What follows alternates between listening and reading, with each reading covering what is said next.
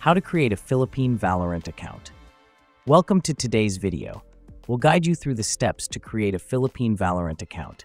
If you're new to our channel, don't forget to subscribe for more helpful content. Steps to create the account. Download a VPN. Open your browser and search for Tuxler VPN. Download and install the VPN on your PC. Set up the VPN. Launch the VPN and switch from data center to residential mode. Select Philippines from the available options. Verify your IP. If you'd like to double check, go to whoer.net to confirm your IP address is set to the Philippines. Create a Gmail account.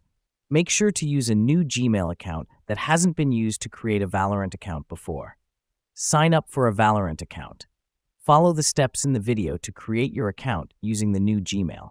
Click the play button to start and complete the trial game. Choose your in-game username carefully, as it will be your Valorant username. After registering, once the trial game is finished, you'll be redirected to the main menu. Click on Valorant Points to confirm that your account is set to the Philippine currency. Closing remarks.